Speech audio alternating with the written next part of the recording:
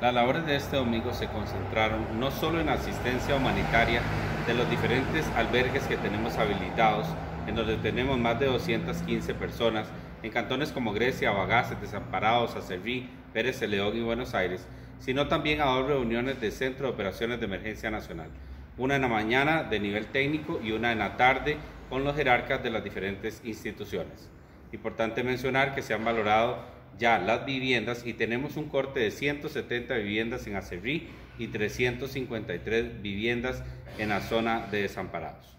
Me refiero también al deslizamiento que tuvimos en Santana, en donde un equipo técnico de nosotros nos ha dicho que no hay riesgo ni a población ni a infraestructura vital.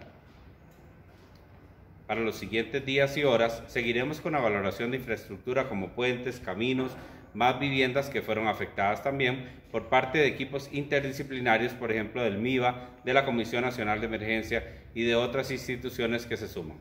La coordinación interinstitucional es importante para dicha valoración y para continuar con el proceso de atención no solo de la asistencia humanitaria, sino de la fase también de recuperación de las diferentes comunidades.